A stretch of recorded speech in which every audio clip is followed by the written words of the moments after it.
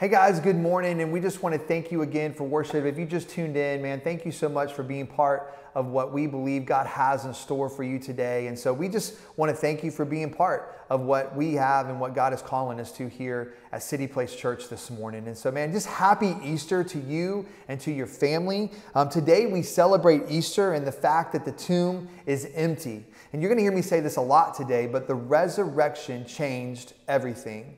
The resurrection changed everything.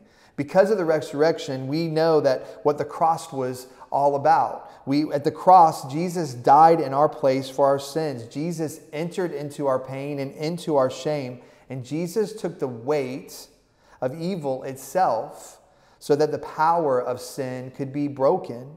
And because Jesus didn't stay in the grave, we, we see that death and the resurrection of Jesus Christ in God is his love freeing us from sin, that God and his love overcoming death.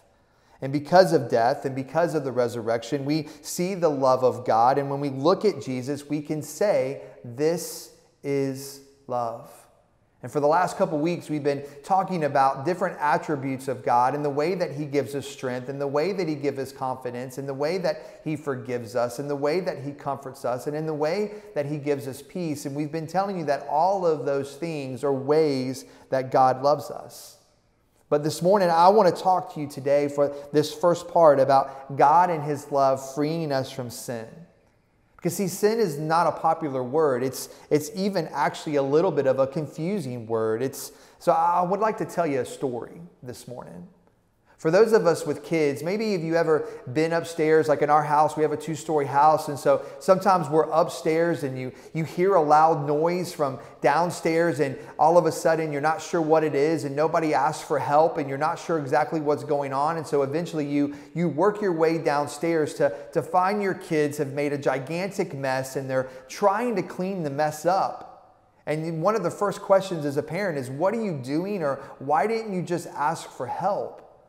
But the reason why they didn't ask for help is because they were ashamed, because they were confused.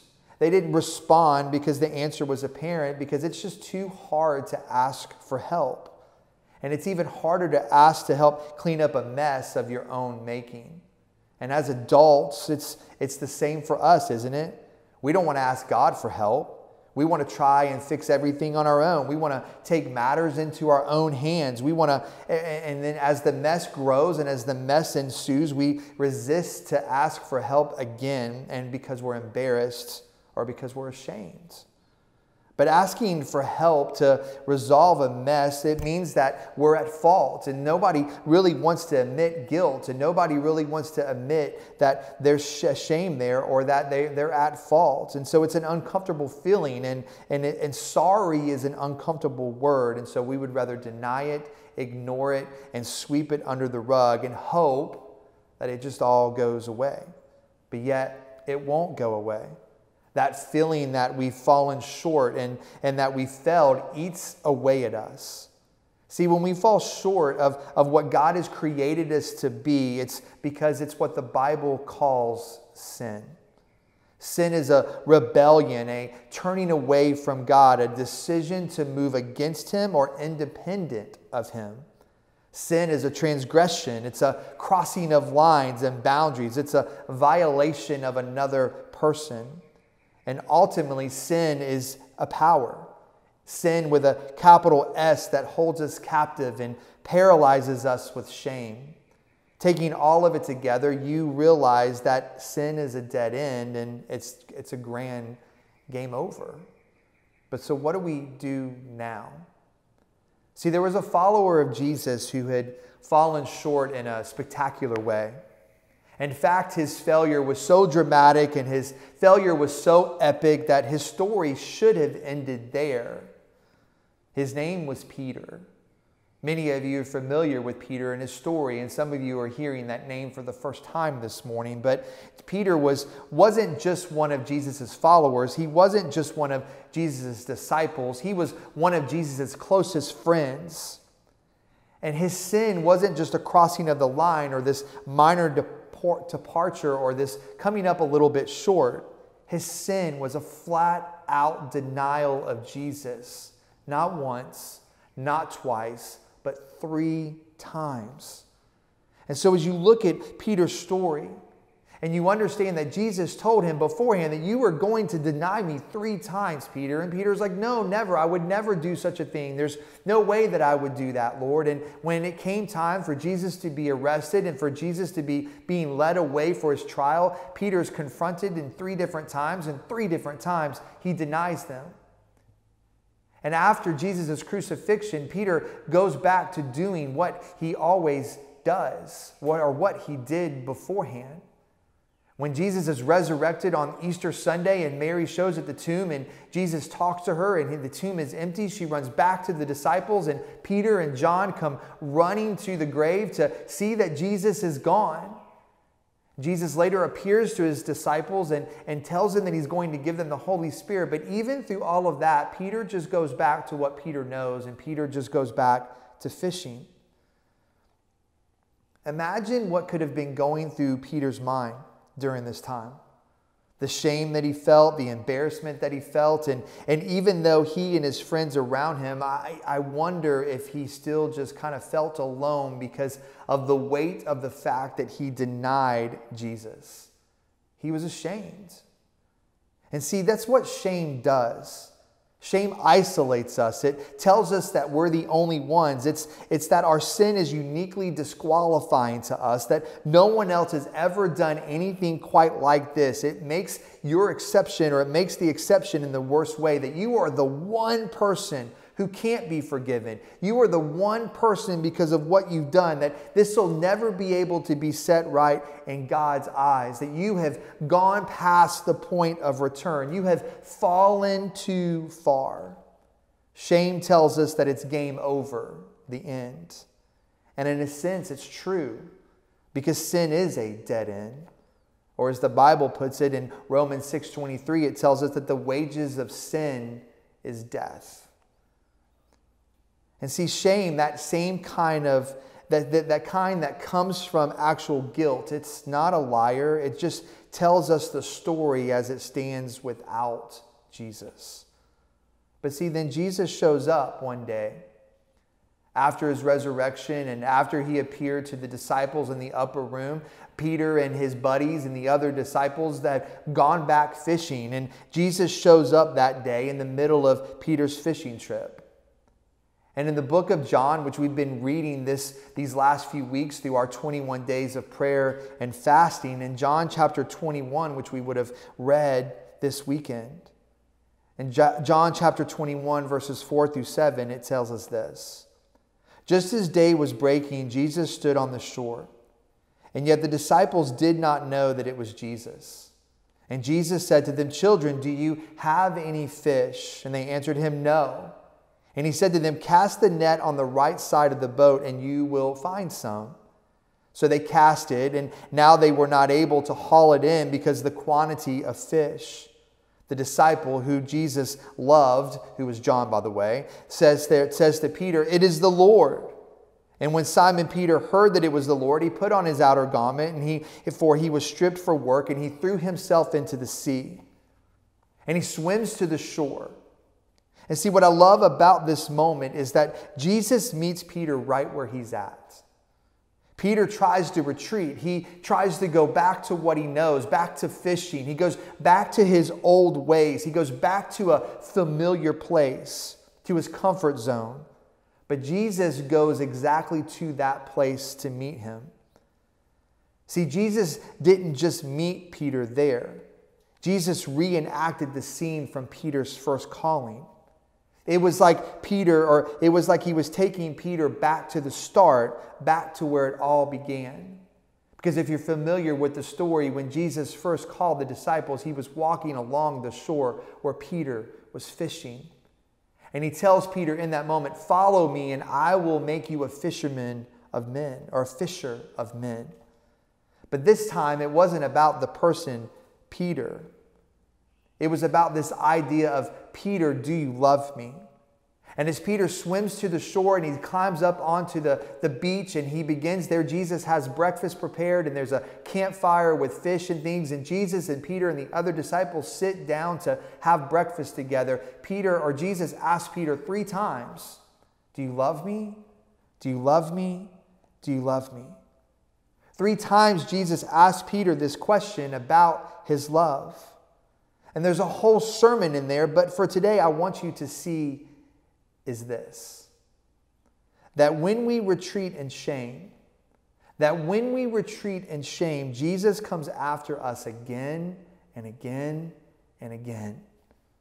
His love will never stop chasing us. His love will never let go of us. His love can change everything. And see, the risen Jesus that we celebrate today on Easter, the risen Jesus breathes new life. He, the life of the Holy Spirit, the Spirit that raised Jesus from the dead. He shares it with his followers. He announces his true that, that true peace is theirs. And he shares with us, and, and that this peace can be ours too. No more fear, no more shame, no more guilt, just true peace. The true and deep sense of being put back together again and being set right, and being set right with God and being set right with one another. See, and then Jesus sends his disciples into the world to share the good news. And the good news is for the world.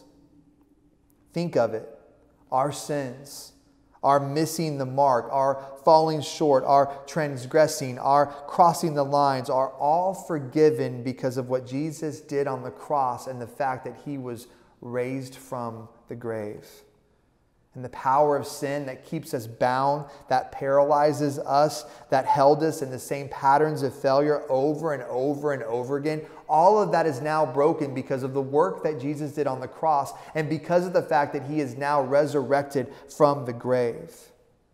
To be forgiven is to be free, free from guilt, free from shame, free from the power that has enslaved us for so long and free to be fully human, to be what God made us to be, to reflect God's image, to reflect His wisdom, and to reflect His love into the world. See, that day on the beach, when Jesus began to ask Peter, Do you love me? Do you love me? Do you love me? Peter's life changed that day. He went on to lead the start of a movement that would later be called the church. And it began that day that Jesus found him on the shore and restored him. And, church, friends, your life can be changed today too. The whole path of your life can change today. Maybe you thought that it was game over, that you had hit a dead end, and because of a, of a, mistake that you've made or a destructive habit that you've been caught in. But I've got good news for you today. It's not over. And just as it wasn't over when Jesus died on the cross and was buried, it's not over for you because Jesus carried our sins upon him onto the cross. And because God raised Jesus from dead in victory over sin and over death, it's not over. Sin is not the end. The resurrection changed everything. The scriptures tell us that God shows his love for us because while we were sinners, Christ died for us. Romans 5 8. But before we knew how to call his name, before we knew how to pray, before we knew how to ask God for anything, God came running after us. And God comes running after you, just like He came after Peter. Today can be your day. This love that was exhibited to us on the cross, this love that was exhibited to us when Jesus raised Himself from the dead this love, it can change everything because the resurrection changed everything. And so this morning, as you sit here in your homes and you watch this on a computer or you watch this on your phone or wherever you may be this morning, I want you to know that there's no shame and there's no guilt because Jesus died for all of that. And so don't allow the sin that maybe you have in your life to hold you back from what could be the most amazing thing you've ever experienced, which is a relationship with Jesus. And so this morning, as you sit wherever you sit or stand wherever you stand, if you need a relationship with Jesus this morning, I just want you to, to repeat this prayer after me. And it's this simple Jesus, forgive me of my sins. Thank you for the work that you've done on the cross. Thank you that you have come back to life. Lord, I know that I am a sinner, and I'm asking you to forgive me. Love you, praise you, but Jesus, here is my life. Jesus, here is my life. And if that's your prayer this morning, we would love to be able to follow back up with you with the decision that you just made. And so I'm going to give you my email address. It's kevin at cityplace.church. Kevin at cityplace.church. Would you please just send me an email and let me know about the decision that you made today to follow after Jesus so that I can follow up with you, so that our church can come alongside and help you take the next steps that you need to take? Or maybe you sit here this morning and you're a follower of Jesus, but maybe your life hasn't been going the way that you want it to. Maybe you're not living the way that you need to live. And maybe you just need to come home, like the story of the prodigal son. I want you to know that the Father loves you. I want you to know that He's here for you. And I want you to know that He has a plan for you. And so this morning, whatever it is that you need from Jesus, He is your peace, He is your love, He is your power, He is your joy, He is your hope and He loves you. And everything that He did on the cross and everything that happened three days later when He stepped out of a grave was because He loved you. And so we love you. Thank you for joining us this morning. Let me pray for us, and then we're going to move to the next parts of our service. Father, we love you. Lord, thank you for the work on the cross. Thank you for the fact, Lord, that three days later you came back to life. And Lord, that's the significant turning point for everything that we believe as followers of Jesus, Lord, that you stepped out of a grave one day, that you gave life so that we could have life. And so, Father, I just pray this morning. Father, that if there's anybody that's watching this, Lord, that needs a relationship with you, Father, I pray, Lord, that today would be their day, that they would have said that prayer and that they'll send the follow up email so that we can circle back with them. But Father, if there's people, Lord, followers of you, Lord, that have faded away and maybe need to come back to a relationship with you, Lord, I pray that you bring them home. Or Father, maybe if we're just struggling this morning, Lord, I pray that we would turn to you and you only. And so, Father, thank you for Easter. Thank you for what it means. Thank you for all that you've done. And we love you and we praise you. And it's in your holy name we pray. Amen.